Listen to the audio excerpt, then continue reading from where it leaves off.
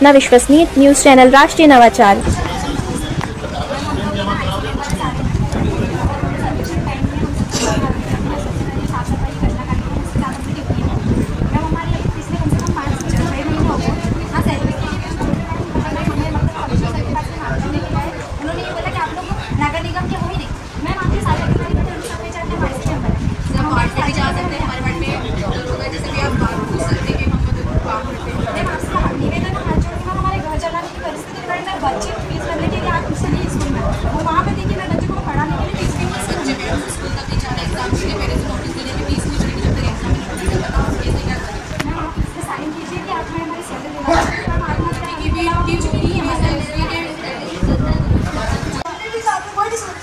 मैंने सुनी क्यों नहीं आपकी बात।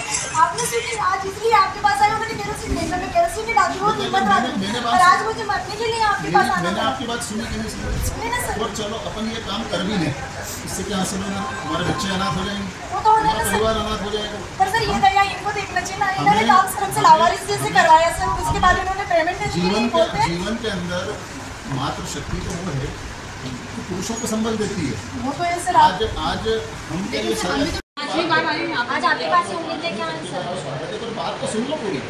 है इसका जो उसका नाम ए, ए, ए, ए, ए, बेटा बेटा बेटा ये नियम विरुद्ध काम मत करो।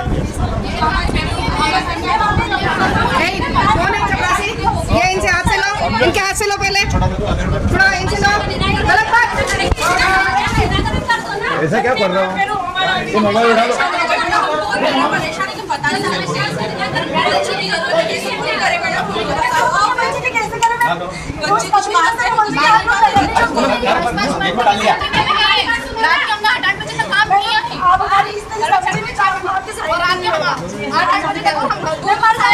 है को के करें के नहीं क्या तो नहीं क्या को नहीं को रहे सबके आगे हम क्या करिए वो कहानी पहचान दो तुम्हें तुम ठेकेदार के लोगों बोले हमारे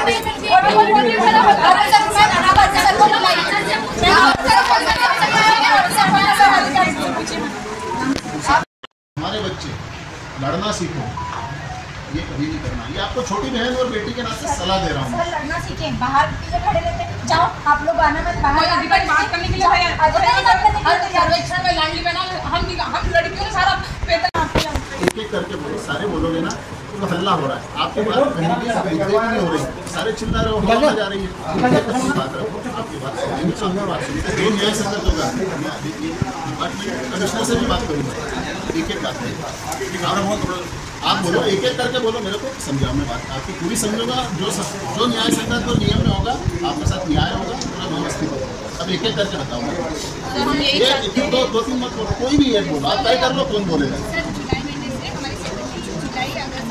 महीने से से पाँच महीने हो पाँच महीने से लेके आओ उसके बाद अगर लीटर फ़ोन तो फ़ोन नहीं हमारा हमको ब्लॉकिंग करके रखो तो जब हम कॉल करेंगे तो कॉल ही नहीं उठाएगा तब ये पेमेंट हमको दिलाएगा सच बोलती है लिखते हुए इंटरव्यू बोल रहे हो, फिर आप बोलो मेरा बार बार निवेदन है, सारे चिल्लाओगे ना कोई बोल रहा है, मैं समझ रहा हूँ।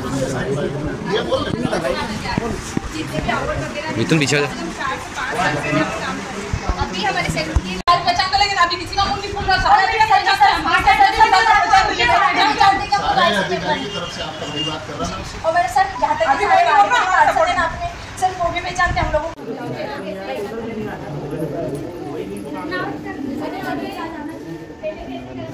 बात हुई है, जो भी आगे सर क्या बोलते हैं, क्या नहीं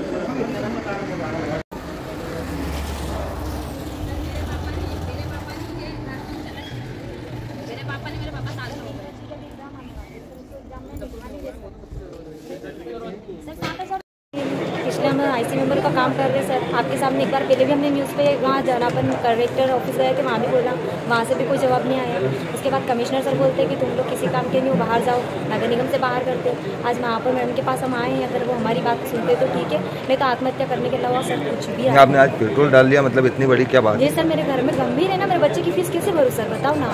कैसे भरूँ मेरे बच्चे की फ़ीस? कैसे मेरे घर का खर्चा चलाऊँ सर किराए के मकानों में रहते हैं हम लोग? कोई हमारा निजी घर नहीं है सर। हैं? पाँच पाँच महीने की सर छः महीने की सैलरी आज किसको बोलते हैं सर? हमारी सात हज़ार से आप छः महीने की सैलरी होती है। आज पचास हज़ार रुपये घर में कुछ आएँगे तो सर हमारा खर्चा चलेगा ना घर का। आज हमें नौकरी भी नहीं है सर। इन्होंने ऐसे टाइम पे हमारा टेंडर खत्म करके नौकरियाँ बंद कर दी। कहाँ जाए हम नौकरी कौन से विभाग में कार्य करते हैं सर स्वच्छता विभाग में करते थे। कितने लोगों का अभी तक पैसा बाकी होगा? पैंतालीस लोगों का तो है हमारे सुपरवाइजर पाँच लोग हमारे सुपरवाइजर है। एक सीनियर सर जो अरुण सर अरुण तोमर सर करके हैं। वो है और हमारे ठेकेदार जो विश्वजीत सर है पंजाब तो के मतलब सात महीने से पेमेंट नहीं मिला इसके पहले कभी शिकायत करी आपने? सर तीन चार बार आवेदन लगा दिया। उसका पहले कमिश्नर सर के पास गए उसके बाद कलेक्टर सर के पास भी गए वहाँ से भी कोई जवाब नहीं मिला। आज हम जन सुनवाई में आए यहाँ से भी नहीं आए तो आगे तक भी करना पड़ेगा सर। अभी क्या कुछ कहना पड़ रहा है? अभी मैडम ने बोला है कि थोड़ी देर रुकिए आप लोगों को जवाब देना आपका नाम? पूजा राजपूत पद पर पदस्थ थी और क्या कुछ समस्याएँ आ रही है आपको जो आज आप सब महिलाओं ने यहाँ पर बैठ कर पेट्रोल डाला खुद के ऊपर सर हमारी पाँच महीने से सैलरी नहीं हुई है सर हमारी इतनी इस- आर्थिक स्थिति इतनी खराब है कि हमको तो बच्चों का पालन पोषण करना मुश्किल हो रहा है बच्चों की एग्ज़ाम आने वाले हैं हमको वहाँ से स्कूल से बच्चों को नोटिस दिया जा रहा है कि जब तक आप फ़ीस जमा नहीं करोगे तब तक उनको एग्ज़ाम ही नहीं बैठे तो अब बताइए सर कि हम कैसे मतलब कैसे क्या बच्चों का पालन पोषण करें या फ़ीस भरे या घर चलाएँ? ठीक है क्या नाम है आपका? विषय में क्या है क्या कुछ समस्याएँ हैं जो आप लोगों ने अभी मिलकर लोगों का पेमेंट नहीं हुआ हम निगम नगर निगम का संरक्षण संरक्षण में काम करते हैं दूसरा आदमी सारा काम करते हैं जैसे फ़िल्टर का ज़्यादातर हम लोग ही करते हैं वार्डों का। और हमको तो पेमेंट चाहिए सर मेरे हस्बैंड के दोनों किडनी डैमेज है और मेरे को काम करने वाले मैं अकेली हूँ। घर में और मुझे पेमेंट चाहिए सर और साथ में काम भी चाहिए। आपका कितने माह का पेमेंट है? हमारे सबका बरोबर ही सर? छः महीने का। क्या नाम है आपका? टाइम पे नहीं मिलता सर। क्या नाम है आपका? संगीता चौहान। आउटसोर्स से काम करने वाली बहनें हैं जो आईसी के माध्यम से इन्होंने स्वच्छ भारत मिशन के अंतर्गत काम किया था। मैंने इसके बाद सारे अधिकारियों से इसकी जानकारी प्राप्त करी है और उसके अंदर ये निकल के आया कि पटियाला का एक कॉन्ट्रैक्टर है जिसने आउटसोर्स का कॉन्ट्रैक्ट लिया था। उसके अधीन ये बहनें काम करती थी।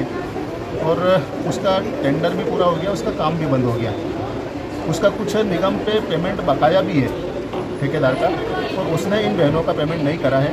मैं अभी ठेकेदार से भी बात कर रहा हूँ कमिश्नर साहब से भी बात करी है, और हर संभव इनकी मदद और पेमेंट के लिए जैसा भी रास्ता निकलेगा हम निकालेंगे। लेकिन मेरा इतना स्पष्ट कहना है कि इस प्रकार का निर्णय या इस प्रकार का कृत्य किसी भी समस्या का हल नहीं है, ऐसा नहीं करना चाहिए। रही समस्याएँ तो है और समस्या का निदान आप और हम सब मिलकर करते हैं और इस समस्या का निदान भी करेंगे मेरी ठेके अभी जितने भी इससे जुड़े हुए अधिकारी हैं, सबसे मैंने बात करी, कमिश्नर साहब से भी बात करी, हम ठेकेदार से भी बात कर रहे हैं तो प्रयास करेंगे कि इनका इनकी जो सैलरी ठेकेदार के माध्यम से मिलना हो, जल्द से जल्द मिले। चाहिए। ये जो मिट्टी का तेल डाला, ये कोई समस्या का हल थोड़ी है? वो कह रही उनके बच्चे की फ़ीस नहीं भर पा रही है छः महीने हो गए। मात्र सात हज़ार रुपये पेमेंट है। मेरा कहना है मिट्टी का तेल डालने से कोई फ़ीस नहीं भराएगी। अपन बात कर रहे हैं उनसे समझाए उनके बात करेंगे तभी तो कोई समस्या का हल होएगा। नहीं तो क्या नगर निगम के पास पैसे नहीं देने के लिए? क्या है? ये समस्या क्यों आ रही थी? अभी इसको समझना पड़ेगा। आप महापौर हैं आप इस विषय में कम थोड़ी सी ज़िम्मेदारी से अगर कर्मचारियों का पेमेंट हो। तो एक महिला को आकर के आत्महत्या की कोशिश करनी पड़ रही है? नहीं नहीं ऐसा नहीं होगा।